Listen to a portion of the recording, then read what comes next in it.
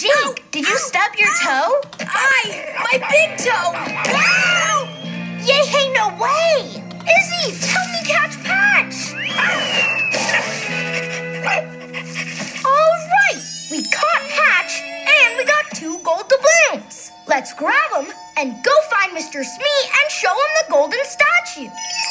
You okay, Jake? Well, my big toe's feeling better. Cubby, do you know any shortcuts to Shipwreck Beach? Got the perfect one, Jake. The easy breezy pathway. It'll be easy breezy. Crackers, it's like a jungle. I thought hiking down Easy Breezy Pathway was going to be easy.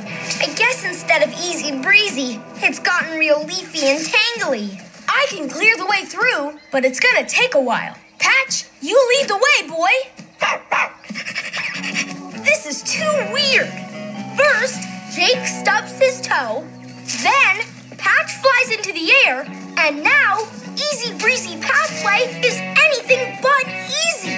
Ever since we found the Golden Smee, we've had nothing but trouble.